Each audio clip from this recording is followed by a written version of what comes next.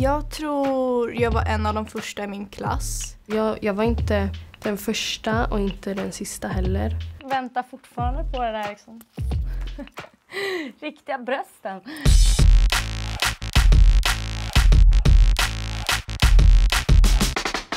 Jag var tidig med att utveckla bröst, ja. Det kändes bra faktiskt. I och med att jag, jag, var, jag var så taggad på, på bröst. Jag var jättesen med det men sen så började de växa och sånt som vanligt. Jag var jätteglad för jag trodde jag aldrig skulle få dem. Jag tror jag var mitt emellan, men det var mer att det syndes mer på mina vänner som var större än mig. Och sen så minns jag att de kunde bli liksom en viss storlek och sen kunde de bara gå ner jättemycket en period. Så bara jaha. Att vara tidig med bröst kan vara spännande och roligt för en del medan andra tycker det känns jobbigt att sticka ut. Att vara senare än andra kan också kännas tufft och man undrar kanske när de ska komma.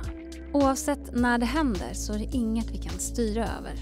Det finns inte heller någon mat eller någon viss olja som kan få dem att växa långsammare eller snabbare. Men ändå kan det bli en hel del snack och det är lätt att man jämför sig med andra.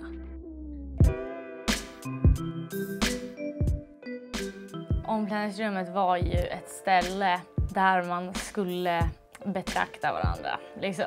Alla gör det oavsett om de säger att de gör det eller inte. Gud vad, jag, vad vi kollade. När jag var yngre så var jag väldigt osäker med mig själv och min kropp. Så jag gick egentligen bara direkt ut ur gympasalen utan att duscha eller byta om.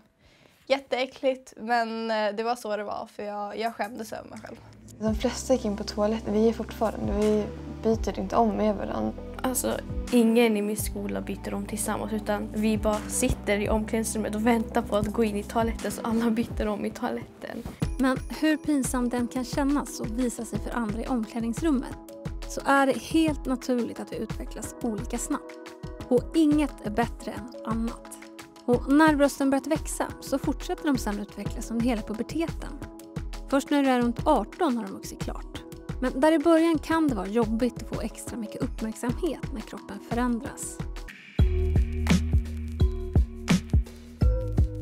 Bland killarna var det mer att de kommenterade om de kunde se bhn genom kläderna eller så. När vi var i grupp, några tjejer, då så kanske det kom någon äldre eller någonting och kanske la en liten kommentar och så. Av killarna kunde man ju få lite kommentarer och sådär och jag, jag har även varit med om att två killar i min klass när jag gick i grundskolan drog av min sporttopp bara för att de var intresserade och se vad som fanns där. Och det är liksom, det är inte okej. Kom ihåg, dina bröst är bara dina.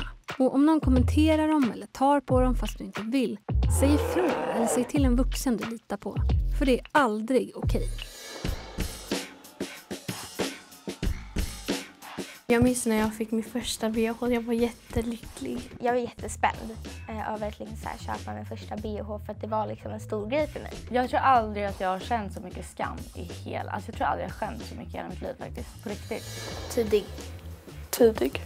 För att det känns jobbigt att vara senare än alla andra. Och vissa kan vara väldigt sena och vissa kan vara väldigt tidiga. Och om du är väldigt sen så känns det som att då jämför du dig mer.